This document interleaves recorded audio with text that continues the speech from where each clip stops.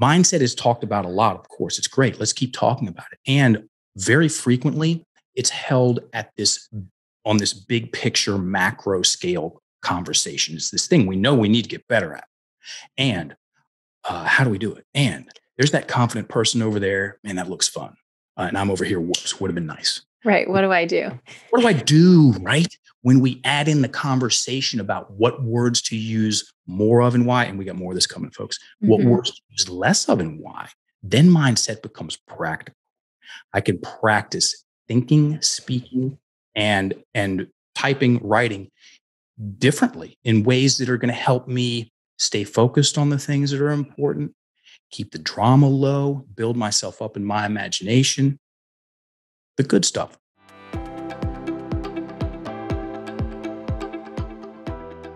Hello, and welcome to Pursuing Health. I'm Dr. Julie Foucher, family physician and former CrossFit Games athlete. Here, I bring you information and inspiration to help bridge the gap between fitness and medicine and support your journey toward your healthiest self.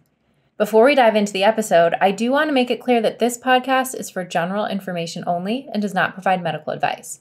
I recommend that you seek assistance from your personal physician for any health conditions or concerns.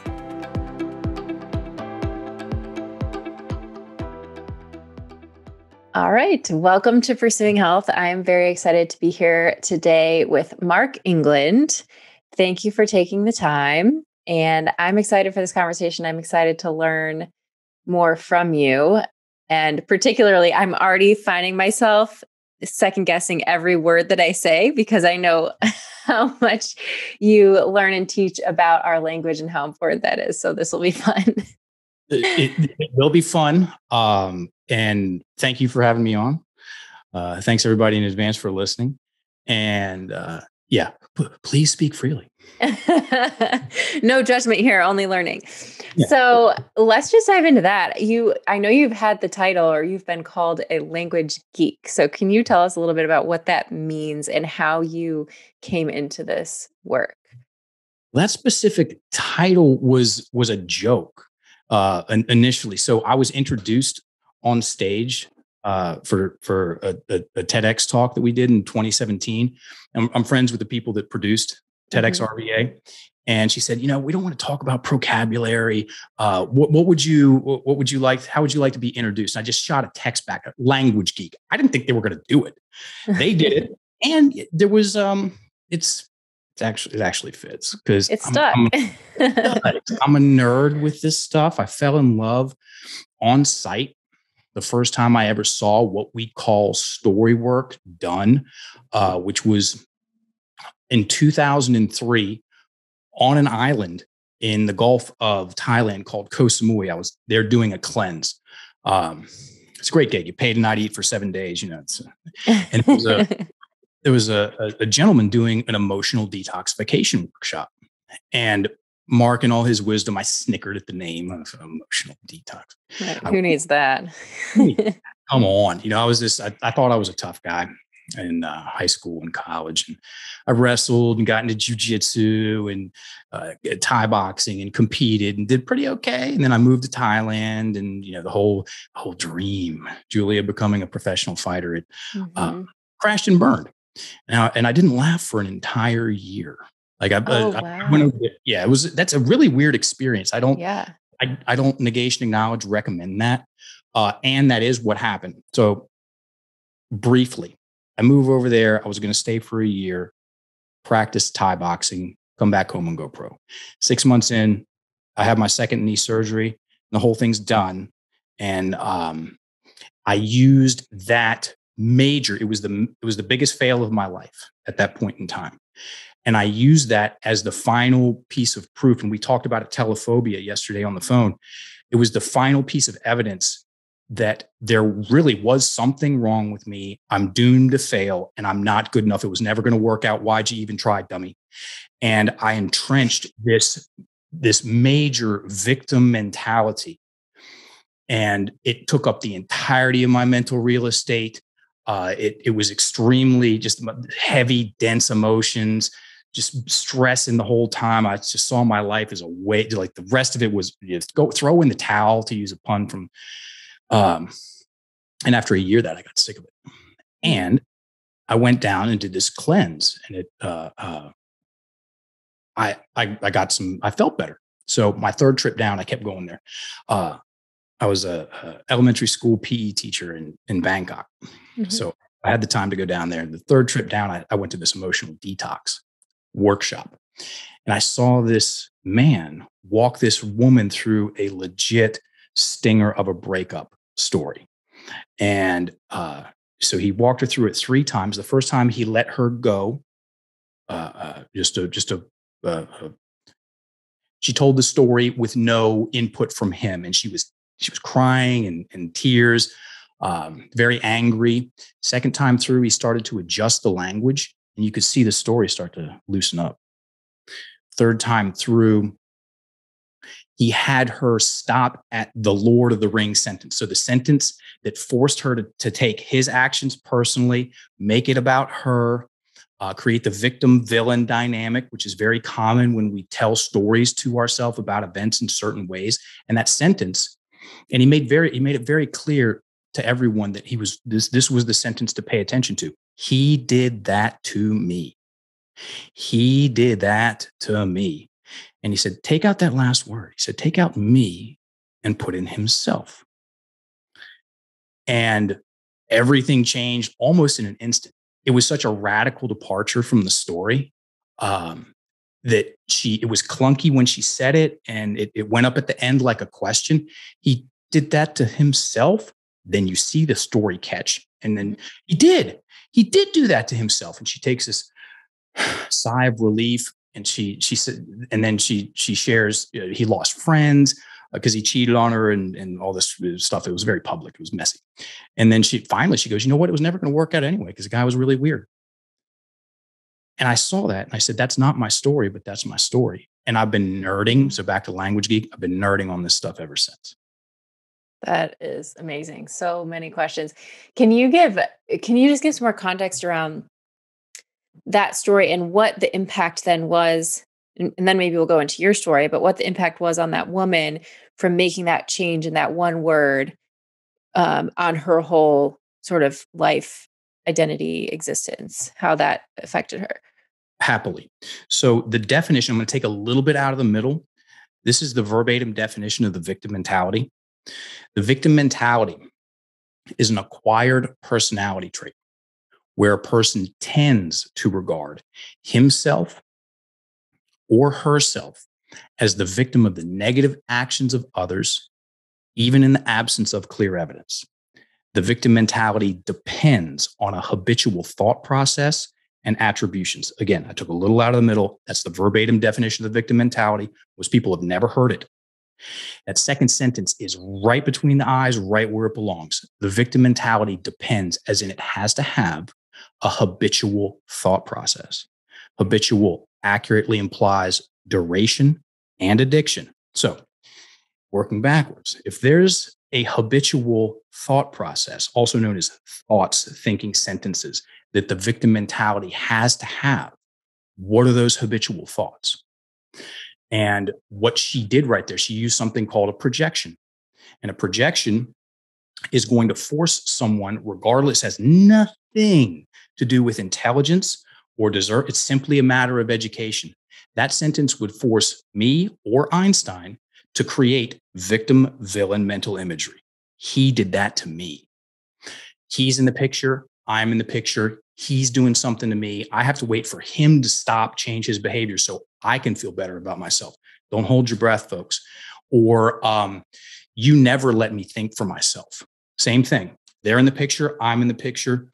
Um, I had a I had a woman come in and and and the the sentence that held her story together was um, my husband made me think we needed to get married. Talk about disempowering. Mm-hmm. And guess what mm-hmm. we did? We took out the he and put in I, or my husband, and put in I. I made me think we needed to get married. And that had a lot, uh, it changed the context immediately. Mm-hmm. It changed the mental imagery, what she was seeing.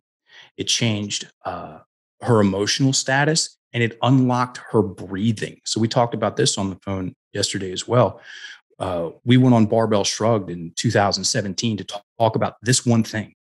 If you change some seemingly everyday ordinary language you're going to improve you're going to improve your breathing which is important when it comes to fitness longevity positive healthy relationships you name it sleep digestion.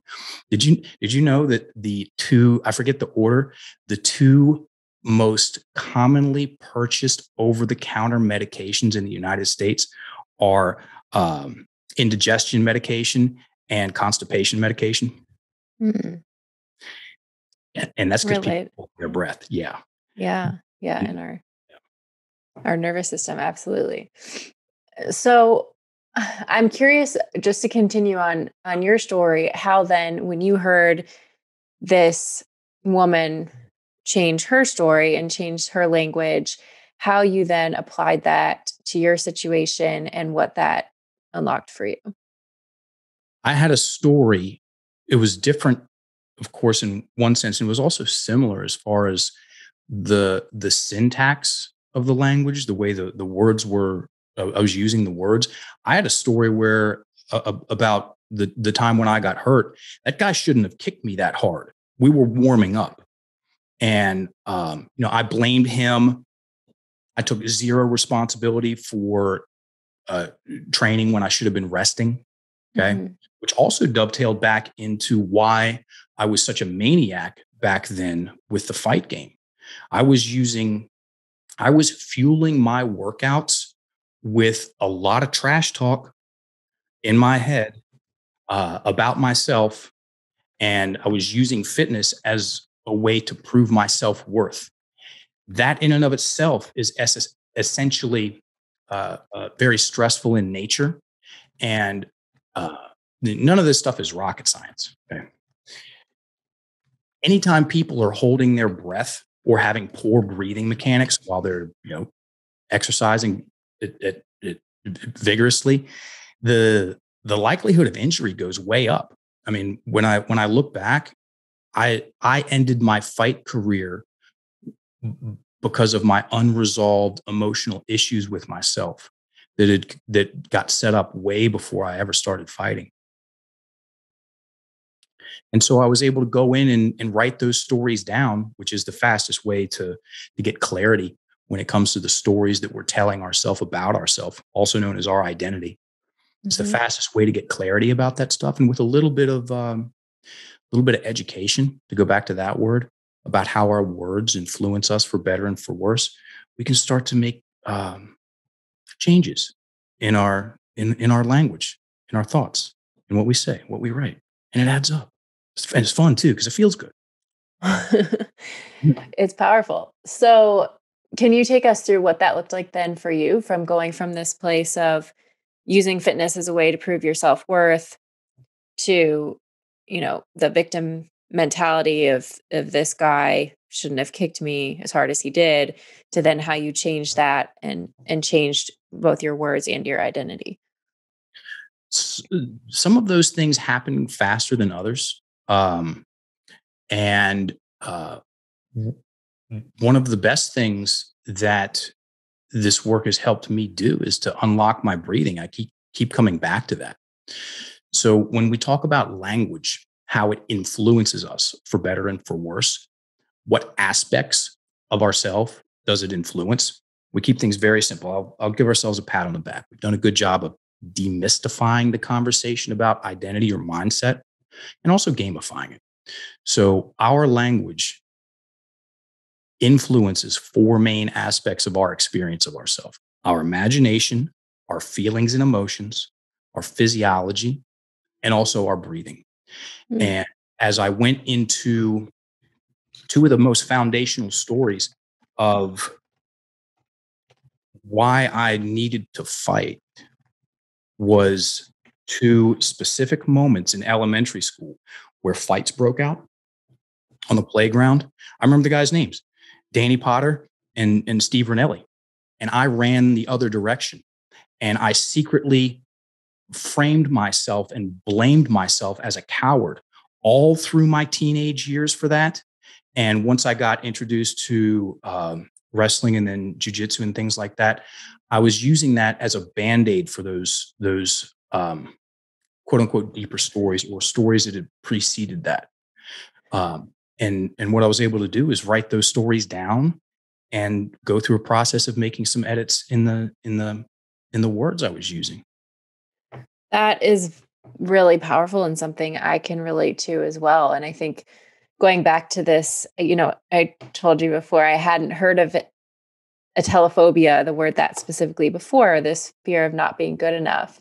But I think it is at the root of um, for so many people. I mean, uh, maybe everyone, and how that really gets laid down, or these stories that we create is laid down usually from something that happens in childhood that then creates this subconscious sort of belief or story that we again perpetuate with our thoughts and and behaviors and language.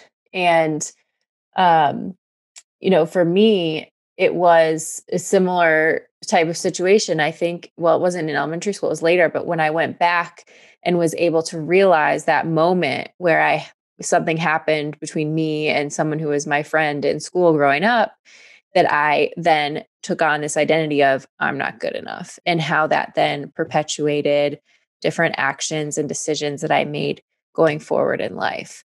And so I just want to take a moment to just really hone in on that and how how these patterns start. It's usually something that is not necessarily a, a conscious thing that happens. It's usually something that started much younger and is just perpetuated. Very much so, and and most people. I'm making an assumption, and it's also a um, an educated guess uh, because we do a lot of work with people in the fitness industry.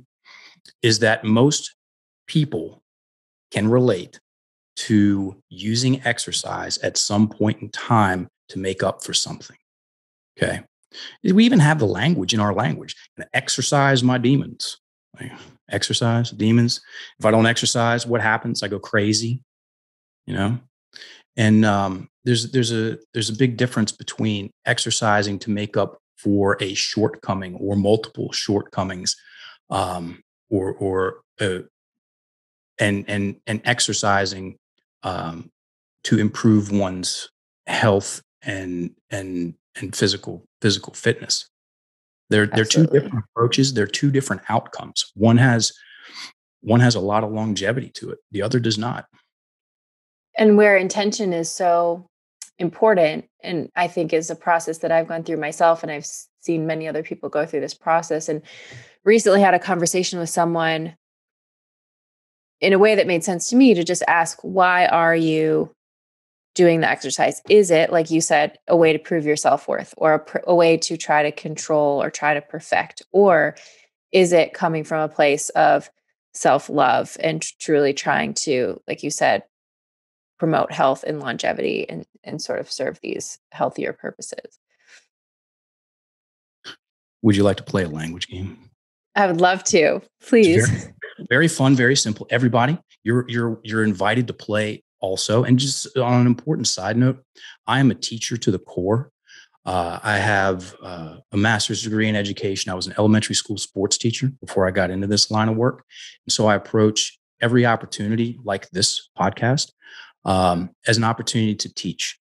And these this language game. We're going to play a couple if if it's okay with you. Sure. Very fun, very simple.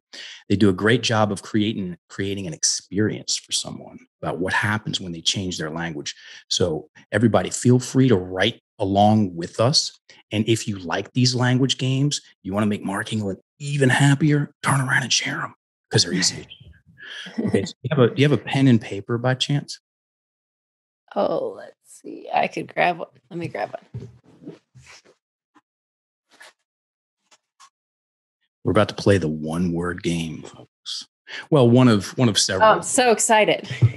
this might be the first time we've ever played a game on the Pursuing Health podcast. Yeah, there's this whole thing about games and fun, and when people are having fun, they tend to tend, tend to tend to keep playing. And and here's here's a promise, everybody: if you make some seemingly minor adjustments in your everyday, ordinary language, just a few here and there, you're going to feel the difference, and it will take this conversation from something theoretical and intellectual into something experiential. There's a very big difference there. Okay, so write this sentence down, everybody. How can I ever get over this? How can I ever get over this? Got it. Read that sentence, Julie, please. How can I ever get over this? How does it feel to say that? Um, kind of feels feeling. sort of hopeless. Yeah. I don't know if that's what you're going for. That's ex- hey, that's that's exactly what I expected because having done this one language game with thousands of people, it is extremely reliable in the sense that most people react that way to that sentence. How can I ever get over this? It feels daunting. It feels impossible. It gets a sinking, hopeless feeling. Cool. Now take your magic wand, also known as your pen, and scratch out one word. Remember, everybody, one word game. Scratch out the word ever. Mhm. Now read it. What happens? How can I get over this?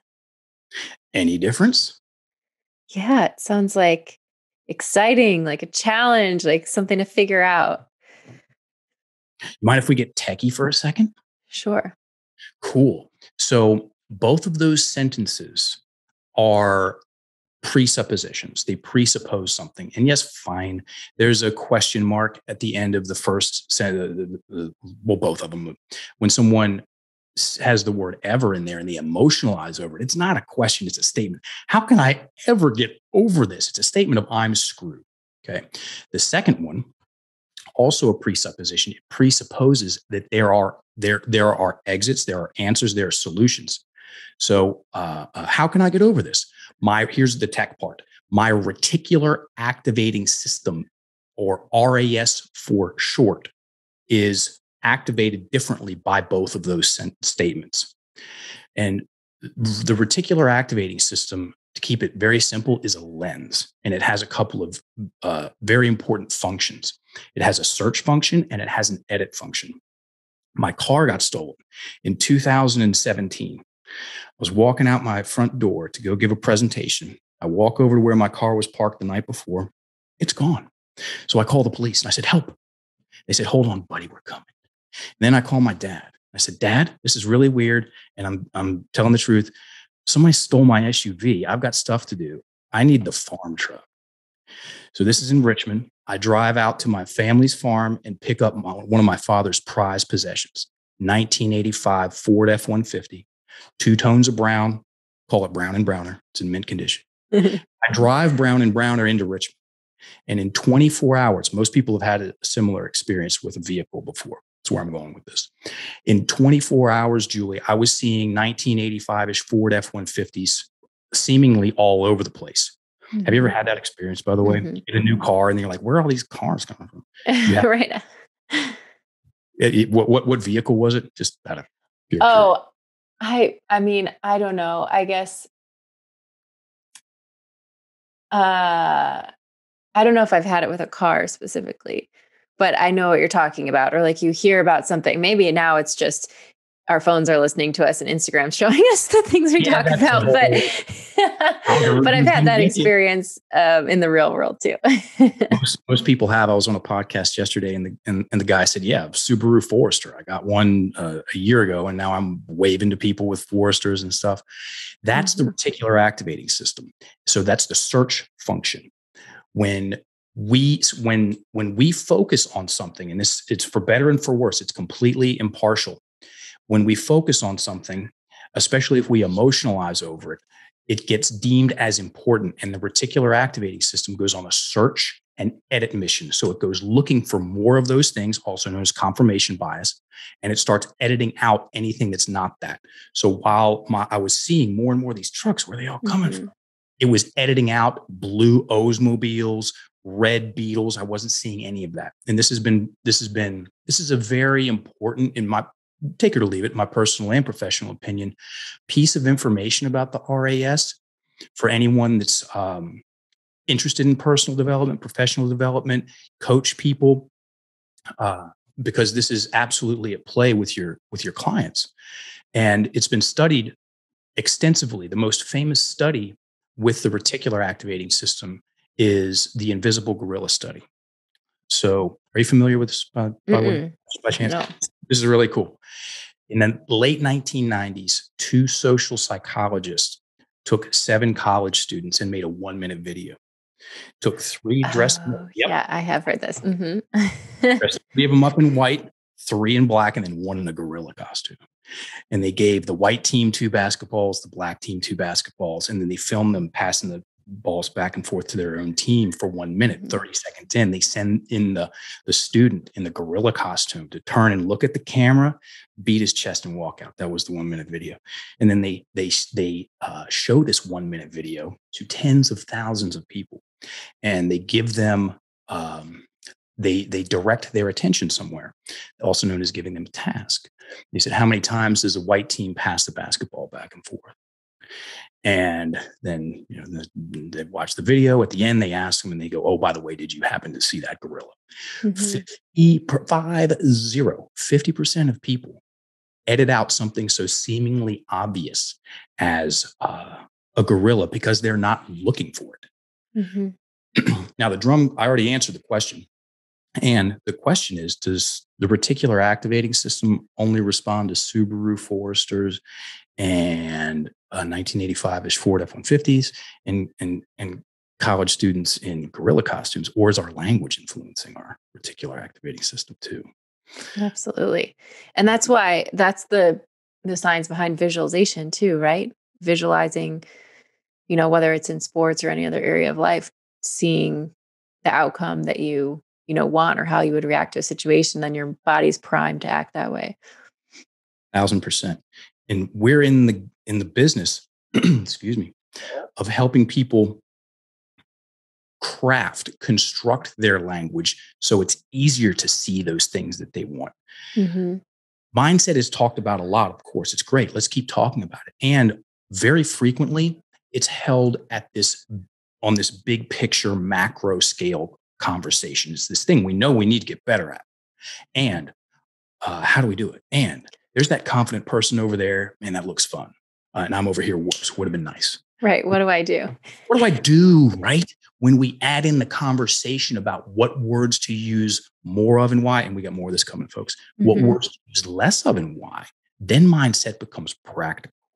I can practice thinking, speaking, and and typing, writing differently in ways that are going to help me stay focused on the things that are important, keep the drama low, build myself up in my imagination, the good stuff, unlock my breathing. I Love it. Would you be able to take us through some of that? What what the outline of those mechanics look like and how you walk people through this process? Absolutely happy to. And we've already started with that um, uh, uh, that first language game. You want to play another mm-hmm. one? Sure. Cool. I'm all in. All right, everybody. You're welcome to play along too, because you can. Uh, write down. This is called soft goals. Okay. Write down two goals for the rest of the year. Okay. And write them down in full sentences. So I want to, I will, however you want to say it. I could, I can, I'm going to um, start this new business endeavor, or I will take a family trip to Croatia, or I'm going to compete in three Spartan races, whatever they are. So write down, write down two goals. And this, ladies and gentlemen, is also a very also uber reliable language game. I'm giving you the layups, the absolute layups, and then we'll we'll play a should detox and um, hat trick, magic, magic number three. Like I said, when people have a, as the old saying goes, she who feels it knows it. And one of the things that we're doing here is we're, and it's very rare because I pay attention to who's talking about what in, in the in the context about mindset. We are slowing down the storytelling process to a degree where we can pay attention to what words are influencing us. Most people use their language uber fast, very quick. And it, it robs them of the mental real estate, the time to make, to connect the dots between what words are serving them and what words are uh, in their way.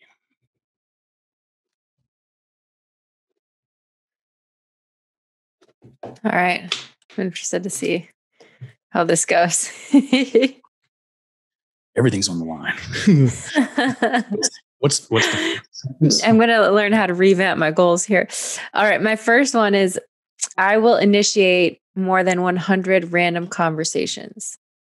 Perfect. How's that feel to say? Good. It makes me feel confident. Wonderful. See how complicated this is? Read the next one. I will meditate every morning. Perfect. How's that feel to say? Good. So that first sentence, that first goal, put a kinda anywhere in there. The word kinda. So the first language game, we took a word out and had an uh-huh. experience. Uh-huh. This language game, we're putting a word in. I will initiate more than 100 kind of random conversations. yeah, the, the, laugh says a lot. What happens when you put kinda in there? Uh, there's a little bit of um, just lack of clarity. Like maybe I'll count this as random, maybe I won't. I don't know. Let's go to that next one. Oh no. in that next one, let's go with a guess. Put the word guess in there. Anywhere. Guess. Like just guess or yeah, the word guess. So I guess. I guess. Can I add another I? I guess I will. Perfect. Meditate every morning. Wait, wait, to, way to really motivate yourself there, Julie. I, I guess. Motivate there uh, uh, every morning. This, ladies and gentlemen, is an elephant in the room. It's the gateway drug to all of your language. It's the easiest place to start. It's called soft talk. Mm-hmm. And there's a handful of soft talk keywords.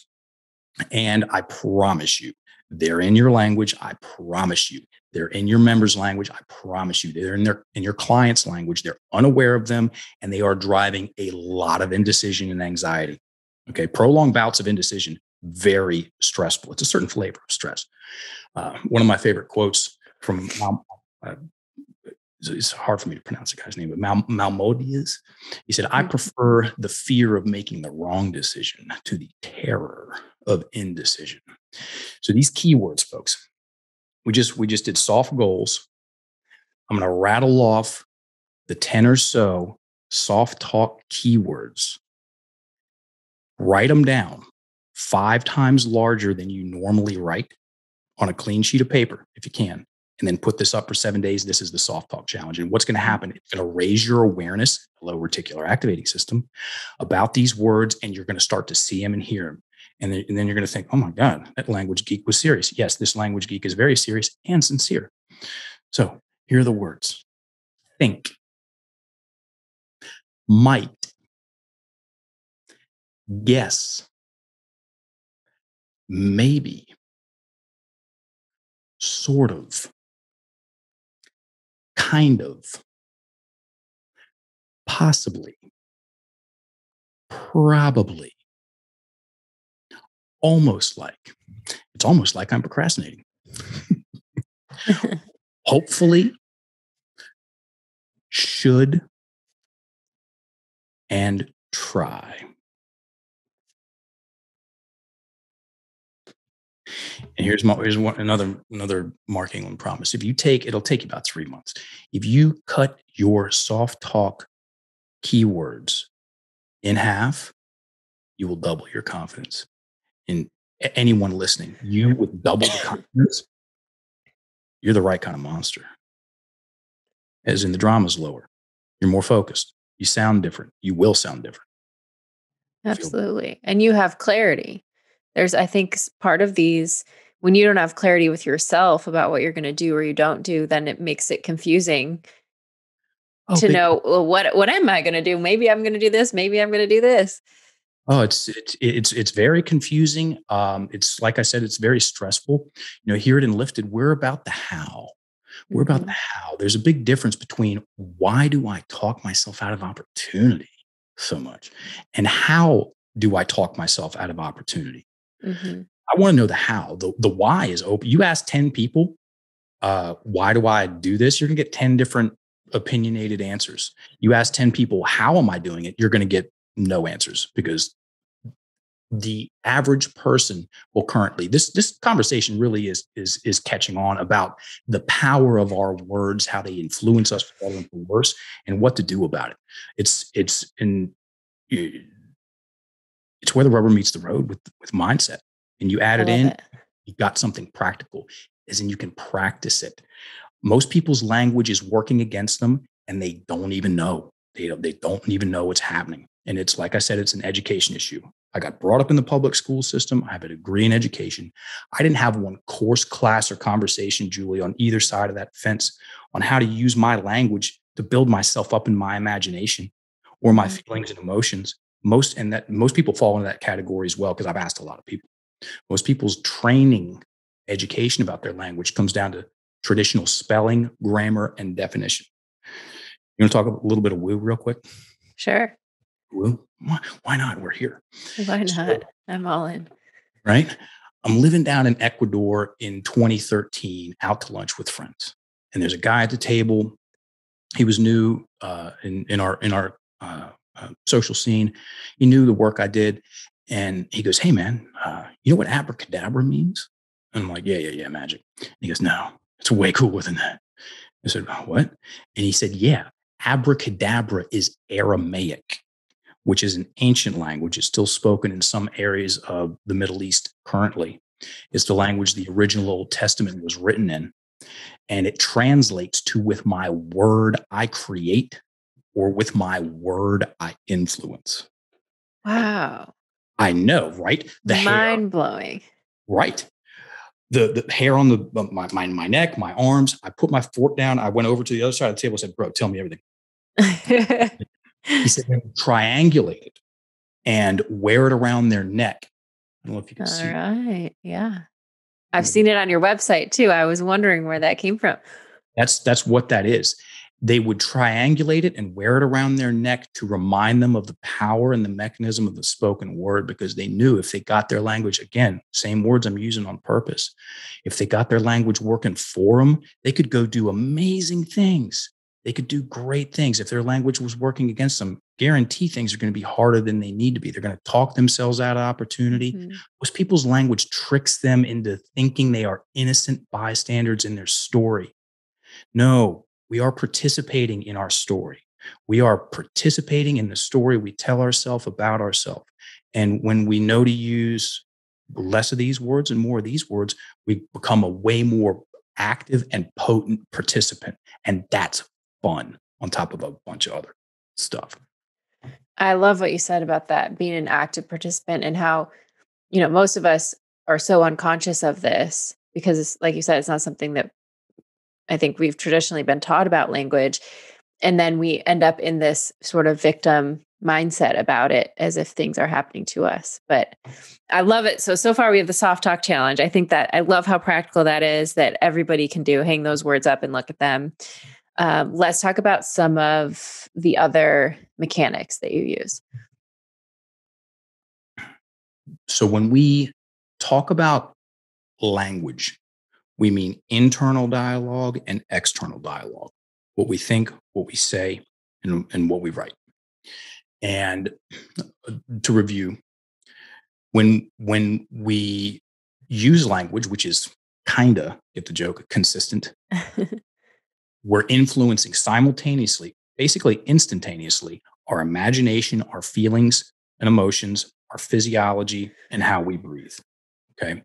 And so when we're helping people make edits to their language, change some language. In the enlifted language, it's called translating. We're translating. So we're going from, we're translating, uh, uh, in, in essence, victim centric stories into, into an architect mentality. That's what we call it. When people become conscious, they use their words and they mm-hmm. build things. Okay. Well, like, as in, what do you want to do with your life? What kind of people do you want to deal with? What skills do you want to develop? Um, and so another one of those uh, mechanical experiences, language games. It's a should detox. Third time's a charm. You want to play the should detox, Julie? Sure, let's do it. Since we're we're, we're, we're on a roll. Right, we're on a roll. Uh, uh, pick something that you should on yourself uh, about. Could sound like I should meditate more, or I should call my grandparents more. Most people have something that they should on themselves with. I have a lot. I'm for those of you who do Enneagrams, I'm an Enneagram type one. So I live in the shoulds. Okay. Yeah, we've got some of our coaches that are way into Enneagrams. Sorry to blow the the uh, the microphone out, but I, that was a good laugh. Uh, perfect. You would just pick one should sentence, one should statement. So I should, and then fill it in, write it down. And everybody listening, like I said, most people have something they go to quite quickly. So yeah. feel free to write this down. This is also these are another layup language game. Super easy to turn around and share with a client, share with uh, a, a group of people, make a post and whatever. Please use it. It's great they're going to have an experience. So what's your what's your should statement, Julie? I should go to bed earlier. Wonderful. How does that feel to say? Uh, it makes me feel really bad about myself. Got it. And when you're when you're when you're running language games, everybody, inquire about the feelings. It's very easy for people to tell you how they feel. Okay, much easier than if you're asking about pictures and movies and things. But uh, on a teaching side note, great. So uh, I should go to bed earlier. Take your magic wand, scratch out the word should, and put in could. Mm-hmm. I could go to bed earlier. Any different? Sounds like a true statement. okay, let's keep going. Take out the could, put in can. I can go to bed earlier. Hear how she said it different, folks? Changes the feel? Mm-hmm. Okay. So, uh, relevant side story. Uh, uh, he wrote a book uh, Dr. Robert Cialdini wrote the book Influence, the Power of Persuasion. He's one of the most sought after social psychologists on the planet currently. And they did a bunch of different studies. One of them is they went into a copy machine room back in the day during peak uh, copy hours. And they went from the back. So there's a lot of people in there needing to make copies. Let me just make that easier to understand. They'd go from the back of the line to the front of the line and say, Excuse me, can I get in front of you to make some copies? They got a yes 66% of the time. Then they added a because, they added a why. Excuse me, can I get in front of you to make some copies? Because if I get this done now, I can get it to my associate and they'll have it for the presentation. Or, excuse me, can I get in front of you to make some copies? Because if I get these done now, I'll be able to make it to my daughter's recital. They got a yes 94% of the time. So a 33% bump in in, in buy-in in yes. Here's where it gets funny and a little bit spooky. They go from the back of the line to the front of the line and say, excuse me, can I get in front of you to make some copies? Because I want to make some copies. Well, of course you do. They got a yes 93% of the time. What does that mean? What? Exactly. It's almost irrelevant what why you give yourself for what you're doing. Uh, uh, it, it, you're going to get a 33% bump in the feels. So, should to could could to can, can to can plus because. So write your can statement, put a because on the end of it, and then fill in whatever you want because it's going to be good. Oh, that's amazing. And very consistent with as I think about just general behavior change, or as I think about, you know, in medicine, always tying behavior change back to the why. You know, why is this important to you? Always helps people to be more successful. 83% more successful. Wow, that's such an interesting experiment. And it turns out the why doesn't even really matter just as long as you have one. It doesn't really matter. What's what's your why for the the what's your, your can plus because statement? I can Oh, I can go to bed earlier because if I do, I'll wake up earlier and be more rested. And I mean, I could go on for hours about that. I can then do all the things that I want to do during the day. Also known as talking yourself into stuff. We're all we're ourselves into stuff. We're talking ourselves out of stuff. And it's it's it's it's fun, it's cool, it's um it's empowering to be able to identify something and talk yourself into it and know how you're talking yourself into it. Be conscious of that process. I'm a big Alan Watts fan. He's a, a Zen, was a Zen student.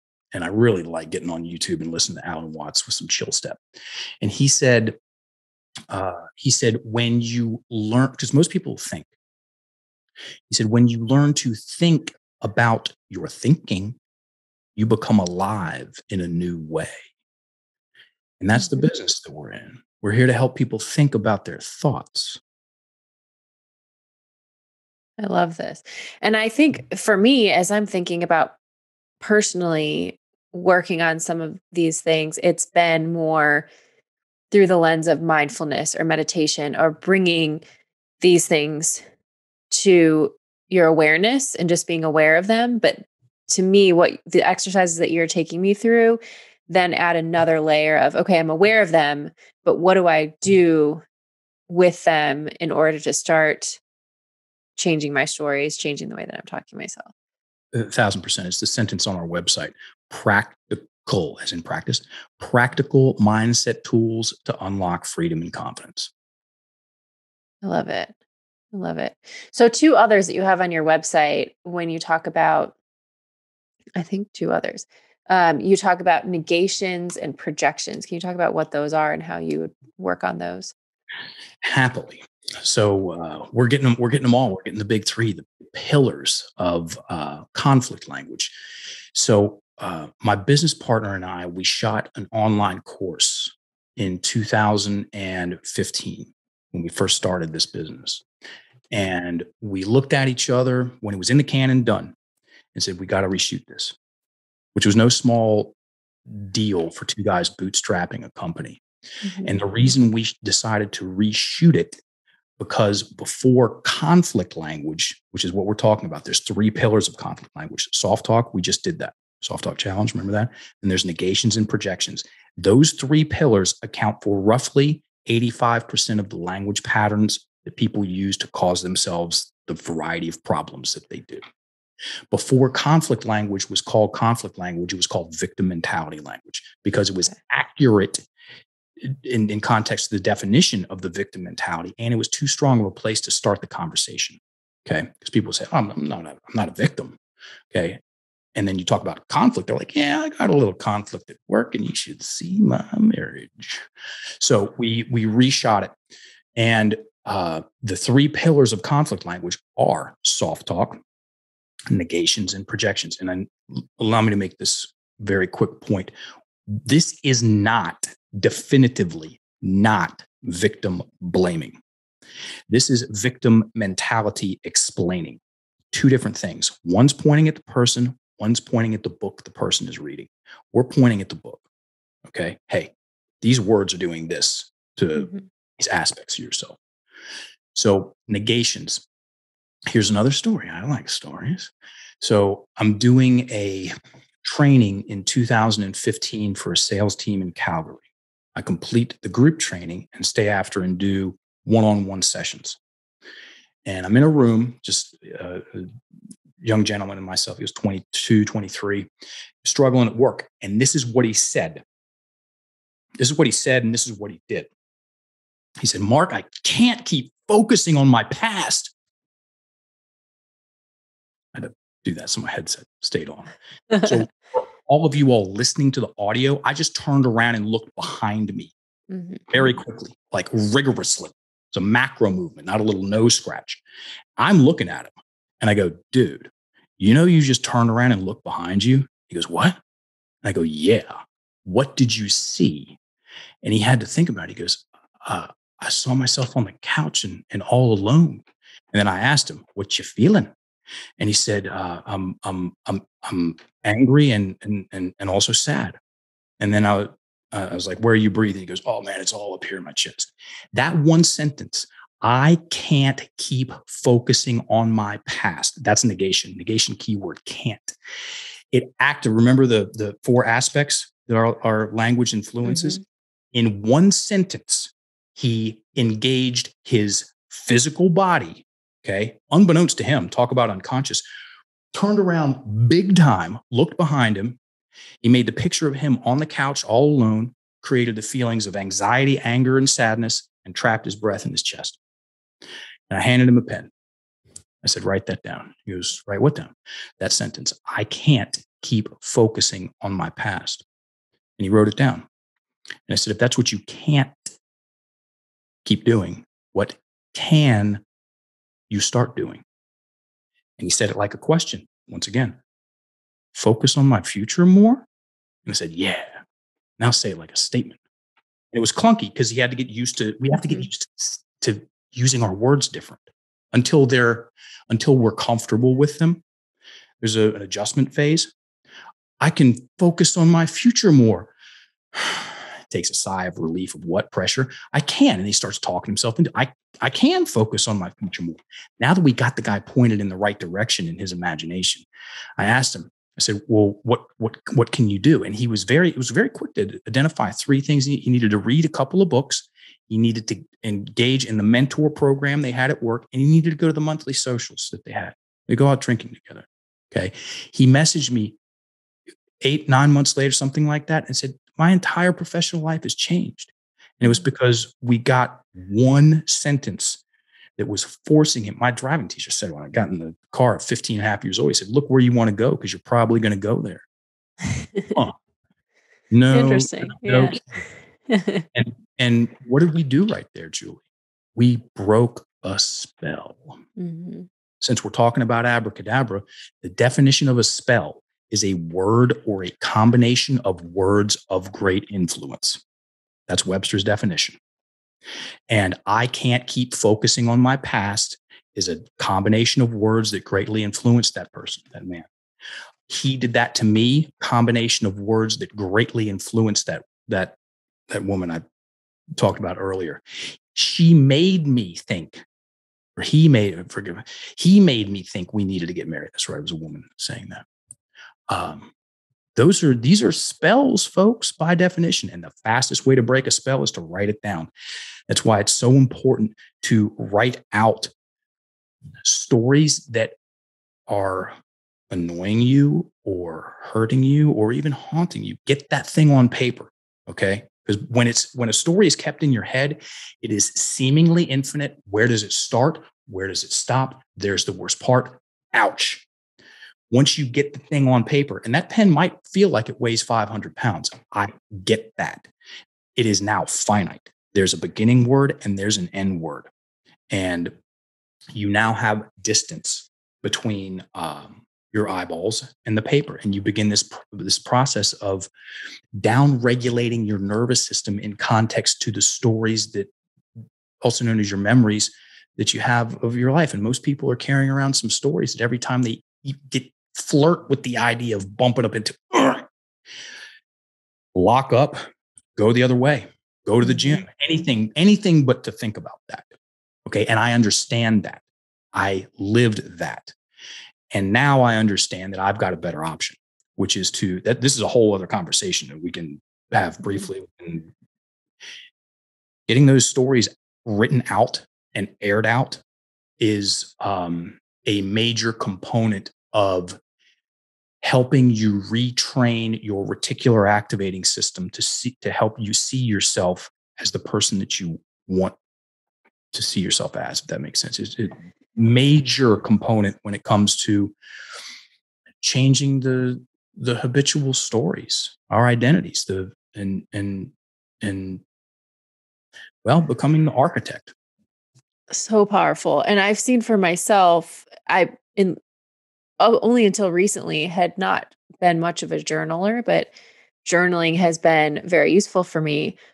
But I saw an Instagram post on your a recent Instagram post on your account for Enlifted Coaches that said, stop telling your clients to journal and that there's a sort of a, a healthy or a helpful way to do it and a not so helpful way to do it. And if you just tell people to journal, it's kind of like a trainer just telling someone to go without work out without giving them any instruction on mechanics or um, or what they should be doing. So how I, I know the first step you said is getting those stories down on paper, but what do we do from there to make sure that we're journaling effectively? When most people journal, they write, generally speaking, about how they feel about the thing. Okay. Now, journaling versus no journaling, working out versus not working out, I'll take the workout. Totally. Okay. And if you want to take your journaling practice to a whole new level, what you want to do, and like I said, the pen could feel like it weighs 500 pounds. And I'll take a little bit of sting now than as opposed to carrying this thing around for three, four decades and having it majorly influence my lens, mm-hmm. reticular activating system. You want to identify the stories that still hold an emotional charge. What, what, identify stories, keep this simple, that still hold emotional charge, specific events, title them like a title to the mo- to a movie, and write out what happened, as in the facts. What happened? The devil is in the detail. This is a very, very rarely do people write out the facts of what happened. You want to err on the side of more detail than less about uh, uh, situations that you know that if it, if it hurt then, it probably still hurts now. And when you go through this process of externalizing your story, it's, it's there's four steps to it. Okay. And it's all about down regulating the nervous system. We're not here to tell people anything about what they should think and feel about something. Okay. We're, um, we're, we're the write it down people. And we're, we're all, all good questions. Very important point when it comes to coaching. Answers push, questions pull. Say it again. Answers push, questions pull. You want to question, it's known as maieutic teaching. You want to question and bring this stuff out of your clients, assuming that you're okay, comfortable working in an emotional uh, capacity with your clients. If you're not, I totally get that too. Right. So the first step is to title a specific memory, write it out conversationally, err on the side of more detail than less. Once it's written down, wonderful read it out loud, normal speed. Let yourself have the feels. Step three, slow down your rate of speech by roughly 30% and read it slow. When someone slows down their rate of speech, the breathing starts to unlock and descend. You want that. As the breath descends, the feels come up. The feels that's the glue that holds the belief system in place. I'm not good enough. Okay. No one will ever love me. Why should I even try? And those just, you know, fine. Yes. It's, their belief systems. That's a, uh, it's a, a, very clunky word. Not clunky. It's a, um, it's just giving them a little bit too much credibility. Those are opinions. Those are ideas. Okay. They're not facts.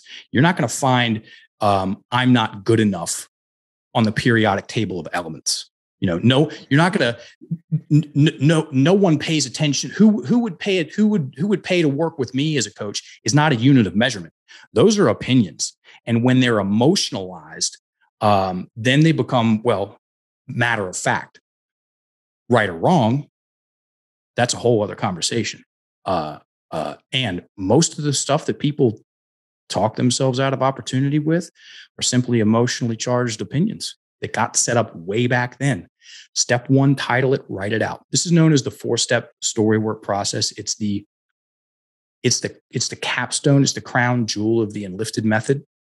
Um, Swiss Army tool. Our coaches use it all the time. I've used it on everything from war crimes, uh, uh simple procrastination to war crimes and torture, and a lot of unfortunate things in between because it, it, it doesn't i'm not there to again i'm not there to tell anybody anything i'm just there to help them get the story out and down regulate step one title it write it out step two read it Step three, read it slow, 30% slow down your rate of speech. The breath is going to unlock. Step four, take a breath at the end of each sentence. And what that's going to do is it's going to change your physiological, um, um, it's going to change your physiology in context to the story. And as the breath descends, the picture moves out. When the picture moves out, it goes from being subjective to objective. Story kept in the head takes up a ton of mental real estate. It's seemingly infinite. Where does it start? Where does it stop? I'm repeating myself consciously. Um, story written out on paper, though, okay, now it's finite. Then I read it. I read it slow. And as my breathing opens up, it goes from the pictures in my face. I'm, I'm still in the story when it's when it's, it's, it's kept in my head. Mm-hmm. As I externalize it and down regulate, I become the observer of the story. And your client or you is going to change your mind on your own. It's going to be very natural. It's going to be a very natural transition from how you thought and felt about it, uh, being a participant in the story. Time does not apply to the emotional body. Okay. That's why we can revisit something that happened 30 years ago and it feels the exact same. Okay. Until we get the story, all of this whole thing, Julie, falls under the umbrella of storytelling. Most people mm-hmm. have little or no training about how to craft their stories, moderate their stories, curate their stories, even draft. If, if it's not written down, you don't even have a draft to hand in. I mean, I was a horrible student in in in high school and in college because I was bored. Uh, plenty of times I didn't hand in a, a, a a, a paper. And, and most of the time, it was just a first draft. Write this stuff down, folks. I love it. Well, I want to bring us back before we wrap up to round out conflict language. So we talked about soft talk, negations. Let's finish on projections and then we'll start to wrap up. Although I feel like I would love to keep listening to you for hours. The projections, we actually started there. So she did that to me. Okay. He never lets me think for myself. Um, she's always interrupting me. My mother treats me like a child. My mother, look, look at this one, folks. And this is this is the the projections. This is where the real pluck in the nose comes uh, into in, in, into play. Most people have a higher emotional attachment, uh, also known as a stronger emotional response to projections than they do to negations and soft talk. Soft talk is the easiest place to start because all you do is you take the word out. And it's fun. It's funny. And, oh, yeah, I feel that. Yeah, I am procrastinating. Or you know, almost like I'm drinking too much coffee. Take out the, no, I am. I am. And then, like I said, it's the gateway drug.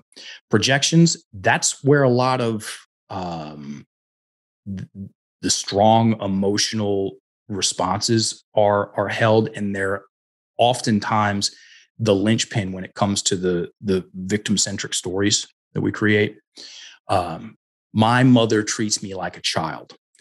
Okay, that well, yeah, I remember listening to that guy. There's the my mother, and then and it's definitely upsetting me. And I'm like, I want to go call her right now and take out my mother. Put in I. Ooh, I treat me like a child. Well, actually, I do. Who treats me like a child more than my mom or more than I do? It's like it's the difference between hate speech and self hate speech. You know, who talks more trash to us than us about mm-hmm. us? It's not even a contest, but we'll, you know, uh, uh, uh, it's the it's the best of news, folks, and it's the worst of news. Wow, so much here, and I really appreciate all the, like you said, the the tools, the practical application that now I know I'll go back and use and hopefully people listening will go back and and use themselves. Um, where can people learn more about what you do or if they want to dive deeper into this? We launched a podcast, Julie. Uh, about, right. Yeah, about uh, 10 months ago, excuse me, 10 weeks ago. It's four coaches uh, and it's all about the words it's all about the language. It's all about the story work.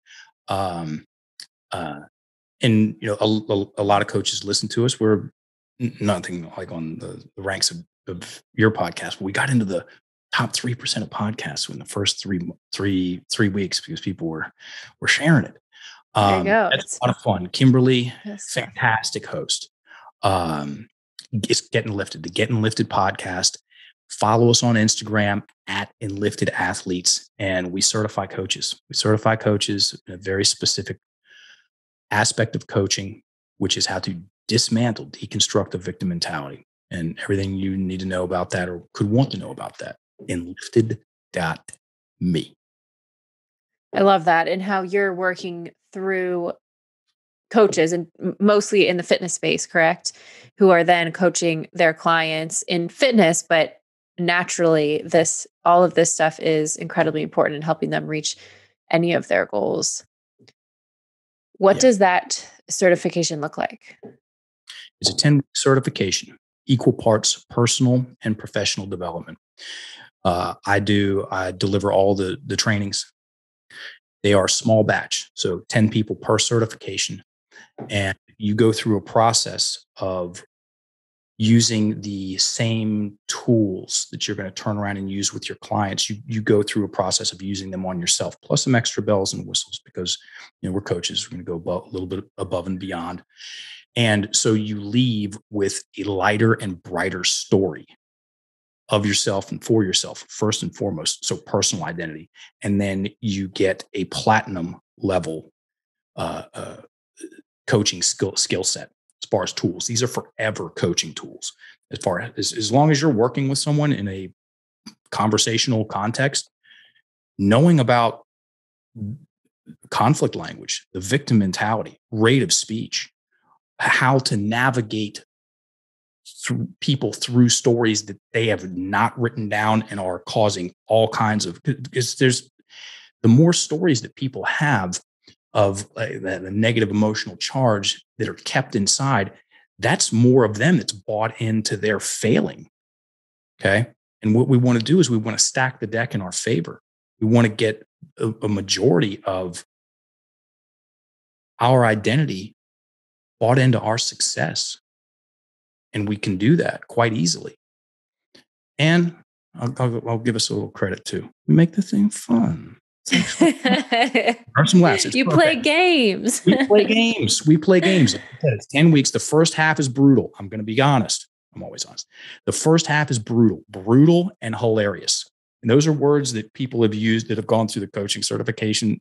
A number of our students have independently and accurately described level one as brutal and hilarious. Mm-hmm. They're right. They got the order right. And um, what we help it, do is create breath of fresh air coaches.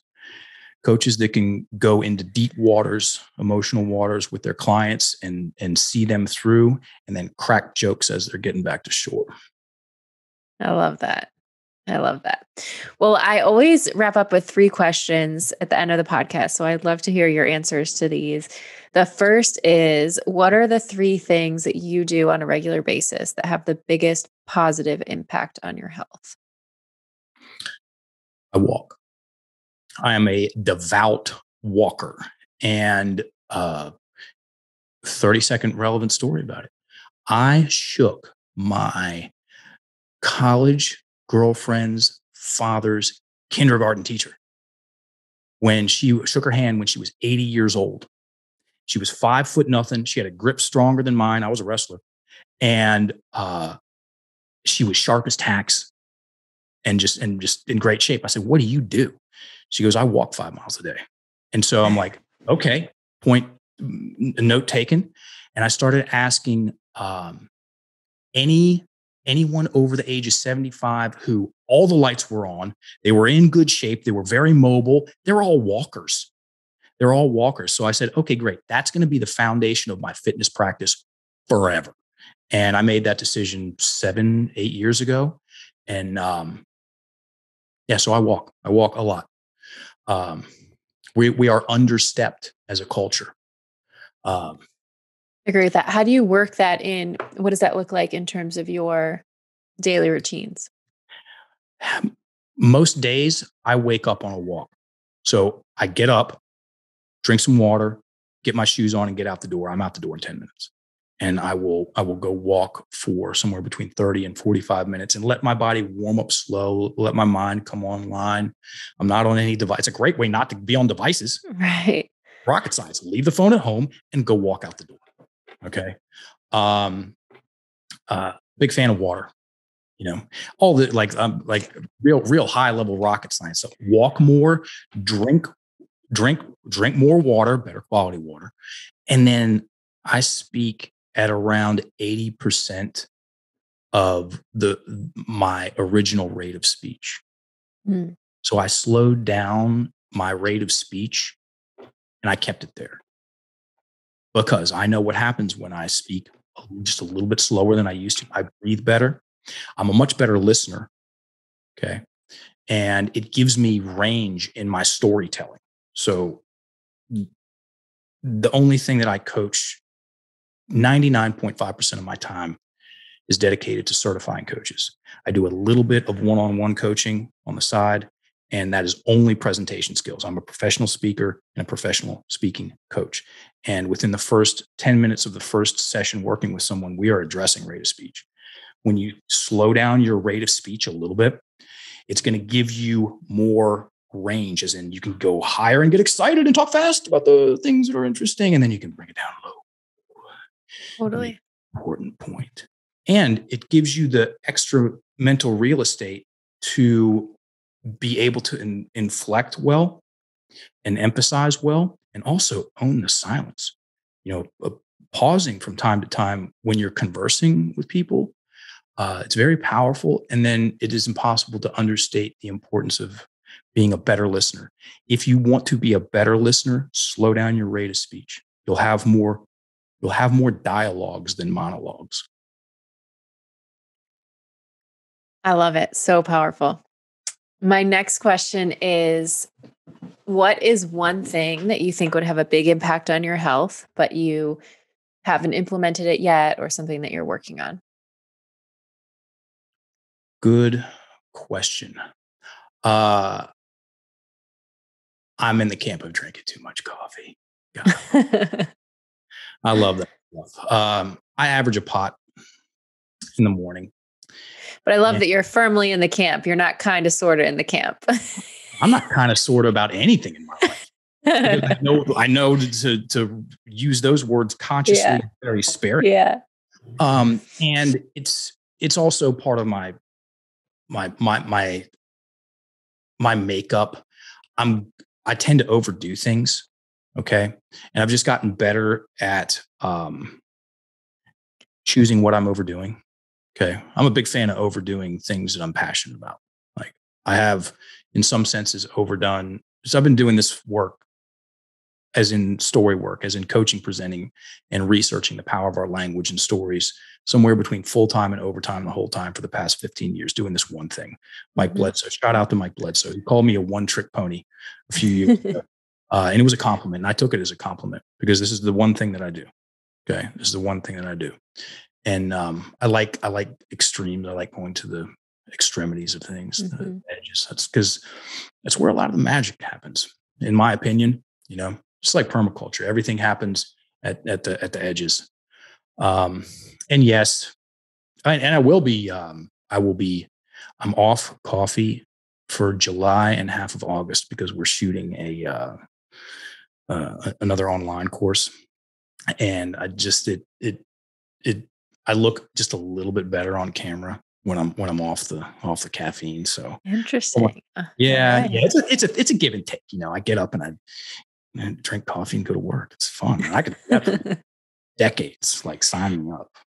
Totally. And that's one thing that does negatively influence my life or my health to a minor degree. Okay. What does a healthy life look like to you? Uh, first things first, how's my sleep? First things first, how's my sleep? I sleep regardless of the amount of coffee. I, I, I won that lottery. Um, I sleep very well. And, and, and, and okay, fine. Getting back to the walking, my sleep improved when I started walking more. Okay. I was always a mm-hmm. pretty good, pretty good sleeper. And I sleep so so well because I walk and I breathe well and I like myself. Okay. Yeah, fine. I've got some character flaws and things like that, whatever. I like me, you know. Well, so. I love what you said too about walking first thing in the morning and how much that also, it's not just the walking, but it's the sunlight, it's in training your circadian rhythm and how the exercise, how all of that then influences your sleep. Yep. Yep. For sure. For sure. It's um I like I like how it uh it sets my mind in a in a in a very agreeable, quiet place or way when I get out the door and I just go walk. Because I don't have to think about anything. I don't have to get up and think about what I'm doing. I already know what I'm doing before I go to bed the night before, which is get up, drink the water, and put on your shoes, bruh. Get out there. yeah. You know? Awesome. Awesome. Anything else to add there in terms of what a healthy life looks like or sleep for you is primary? Laughing. Mm-hmm. Laughing. I know what it's like to not laugh. Um, and I know what it's like to be a, a overly serious person. Um, uh, and I, I've got, I've to a, to a tangible degree, I've gotten over myself, you know, and, um, and I like laughing. Uh, uh, I, I, laugh way more than I used to. Um, my friends, we get my business partner. He's one of the funniest guys I've ever met. It's just we're, we're, there's a lot of there's a lot of there's a lot of good vibe happening over here, um, and it's because uh, you know we take the time to laugh at ourselves and, and laugh at other things too. You have to have fun. You gotta have, you know, yeah. you gotta have fun. You gotta have fun. It's a lot easier to laugh when you're breathing well, folks. I know we keep coming back to that because that is actually the through line. We're known as the mm-hmm. language people. We might as well be known as the language and the breathing people. And gun to head, it's about the breath. Yes, mm-hmm. fine. I'm here to teach you about your words. Okay. What you do with that is up to you afterwards. Like I'm unattached in that regard. And most people, when they they get in this game, their breathing gets so it improves so much. And you know, whether you're out on a date or you're giving a, pre, uh, a professional presentation or it's a sales conversation or you're coaching or it's a fitness competition, when you're breathing better, you're doing better. Absolutely. Well, thank you. This has been so enlightening for me. I'm so excited about the tools, being able to use them more, and hopefully this will be the first of of many conversations. But thank you so much for taking the time. Thank you, Julie. Awesome. Thanks so much for tuning in. If you enjoy listening to the podcast, please consider subscribing and giving it a five star rating on iTunes. It really does help to get the word out to more people.